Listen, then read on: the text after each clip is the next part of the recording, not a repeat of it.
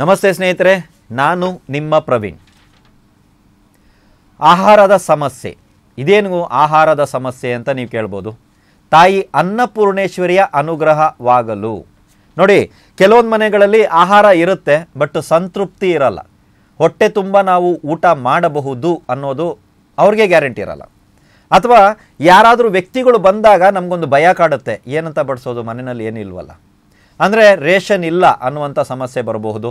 ಅಥವಾ ರೇಷನ್ ಖಾಲಿಯಾಗುತ್ತೆ ಸ್ವಲ್ಪ ಸ್ವಲ್ಪ ಊಟ ಮಾಡೋಣ ಅನ್ನುವಂಥವ್ರು ಕೂಡ ಇರ್ಬೋದು. ಅಂದರೆ ಯಾವತ್ತು ಸಂತೃಪ್ತಿಯಾಗಿ ಹೊಟ್ಟೆ ತುಂಬ ಊಟ ಮಾಡೋಕ್ಕಾಗಲ್ಲ, ಅಥವಾ ಯಾರಾದರೂ ಇತರರು ಬಂದಾಗ ಎಲ್ಲೋ ಒಂದು ಕಡೆ ನನಗೆ ಅನ್ನ ಕಡಿಮೆ ಆಗುತ್ತೆ, ಯಾಕಂದರೆ ನಮ್ಮ ಮನೆ ಪರಿಸ್ಥಿತಿ ಆ ಥರ ಇದೆ ಅನ್ನುವಂಥವ್ರು. ಆಹಾರ ವಿಚಾರದಲ್ಲಿ ಸಮಸ್ಯೆ ಏರ್ಪಡುವಂಥವ್ರು, ಇದೇನಿದು? ಇದೇನು ಅಂತ ಹೇಳಿದ್ರೆ ನೋಡಿ, ನಾವು ಊಟ ಮಾಡುವಂಥದ್ದು ಫುಡ್ ಪಾಯ್ಸನ್ ಆಯಿತು ಅಂತ ಕೆಲವೊಂದು ಸಲ ಕೇಳಿರ್ತೀರ ನೀವು. ಏನಾಯಿತು ಅಂದರೆ ಫುಡ್ ಪಾಯ್ಸನ್ ಆಯಿತು. ಅದು ಮನೆಯಲ್ಲೇ ಇರಲಿ, ಹೊರಗಡೆ ಇರಲಿ, ಅದು ಬೇರೆ ವಿಷಯ. ಫುಡ್ ಪಾಯ್ಸನ್ ಆ ವರ್ಡು ವಿಷ ಭೋಜನ ನೆನ್ಪಿಟ್ಕೊಳ್ಳಿ ಇದು. ಇದನ್ನು ಬಿಟ್ಟರೆ ಇನ್ನೊಂದು ವಿಷಯ ಇದೆ, ಹೊಟ್ಟೆಗೆ ಮದ್ದಿಡು. ಇದರಲ್ಲಿ ಕೂಡ ಇದನ್ನು ಸೇರಿಸ್ಕೊಳ್ಳಿ ನೀವು. ಎಲ್ಲಾದರೂ ಹೋದರೆ ಊಟ ಮಾಡೋದಕ್ಕೆ ಭಯ ನನಗೆ. ಯಾಕಪ್ಪ? ಯಾರಾದರೂ ಮದ್ದು ಹಾಕ್ಬಿಡ್ತಾರೆ ಅರ್ಥ ಆಯ್ತಲ್ವಾ? ಸೊ ಎಲ್ಲವೂ ಈ ಆಹಾರ ಮುಖೇನವಾಗಿ ನಡೆಯುವಂಥ ವಿಚಾರಗಳಾಗಿದೆ. ಈ ಸಮಸ್ಯೆಗಳಿಗೆ ನಾನೊಂದು ಪರಿಹಾರವನ್ನು ಹೇಳ್ತೀನಿ. ಕನಿಷ್ಠ ಪಕ್ಷ ಇಪ್ಪತ್ತೊಂದು ವಾರ ಸೋಮವಾರದಂದು ತಾವು ಇದನ್ನು ಪ್ರಯೋಗ ಮಾಡಬೇಕಾಗುತ್ತೆ.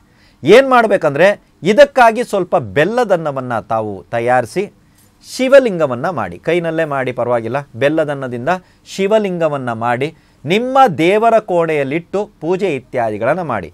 ಧೂಪ, ದೀಪ, ನೈವೇದ್ಯ, ಬಿಲ್ವಪತ್ರ ಸಮರ್ಪಣೆ ನಿಮಗೇನು ಬೇಕೋ ಆ ರೀತಿ ಮಾಡ್ಕೊಳ್ಳಿ. ಅದರಲ್ಲಿ ಏನೂ ಇಲ್ಲ.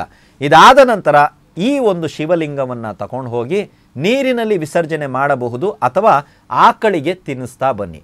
ಪ್ರತಿ ಸೋಮವಾರ ಒಂದೇ ಶಿವಲಿಂಗ ಮಾಡುವಂಥದ್ದು, ಬೆಲ್ಲದನದಲ್ಲಿ ಮಾಡುವಂಥದ್ದು, ಪೂಜೆ ಇತ್ಯಾದಿಗಳನ್ನು ಮಾಡಿ ತಗೊಂಡೋಗಿ ಇದನ್ನು ಆಕಳಿಗೆ ತಿನ್ನಿಸುವಂಥದ್ದು ಅಥವಾ ಹರಿಯೋ ನೀರಲ್ಲಿ. ಯಾಕಂದರೆ ಕೆಲವೊಂದು ಕಡೆ ಹರಿಯೋ ನೀರು ಇಲ್ಲ ಅಂತಾರೆ ಜನ. ಅದಕ್ಕಾಗಿ ಆಕಳಿಗೆ ತಿನ್ನಿಸ್ತಾ ಬನ್ನಿ. ಇಪ್ಪತ್ತೊಂದು ಸೋಮವಾರ ಒಳಗಾಗಿ ನಿಮ್ಮ ಜೀವನದಲ್ಲಿ ನಾನು ಹೇಳಿರೋ ವಿಷಯದಲ್ಲಿ ಪರಿವರ್ತನೆ ಬರುತ್ತೆ. ಆ ತಾಯಿ ಅನ್ನಪೂರ್ಣೇಶ್ವರಿಯ ಒಂದು ಅನುಗ್ರಹ ಆಗುತ್ತೆ. ಯಾವುದೇ ಕಾರಣಕ್ಕೂ ಮನೆಯಲ್ಲಿ ದಿನಸಿ ಯಾವುದೇ ಇರಲಿ, ಅದು ಅಕ್ಕಿ ಮಾತ್ರ ಅಲ್ಲ, ರಾಗಿನೇ ಆಗಿರಲಿ, ಗೋಧಿನೇ ಆಗಿರಲಿ, ಯಾವುದೇ ಸಾಂಬಾರು ಪದಾರ್ಥಗಳಾಗಿರಲಿ, ಬೇಳೆ ಆಗಿರಲಿ, ಎಲ್ಲವೂ ಅಷ್ಟೇ. ತಾಯಿ ಅನ್ನಪೂರ್ಣೇಶ್ವರಿ ನಿಮ್ಮ ಮನೆಯಲ್ಲಿ ತುಂಬಿ ತುಳುಕ್ತಾ ಇರ್ತಾರೆ.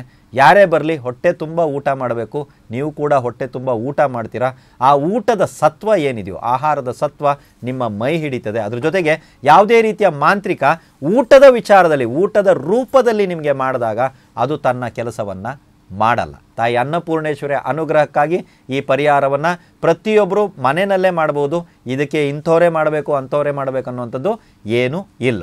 ಸೊ ಈ ಪರಿಹಾರವನ್ನು ಮಾಡಿ ಈ ಸಮಸ್ಯೆಯಿಂದ ಮುಕ್ತರಾಗಿ ಎಲ್ರಿಗೂ ಒಳ್ಳೆಯದಾಗಲಿ.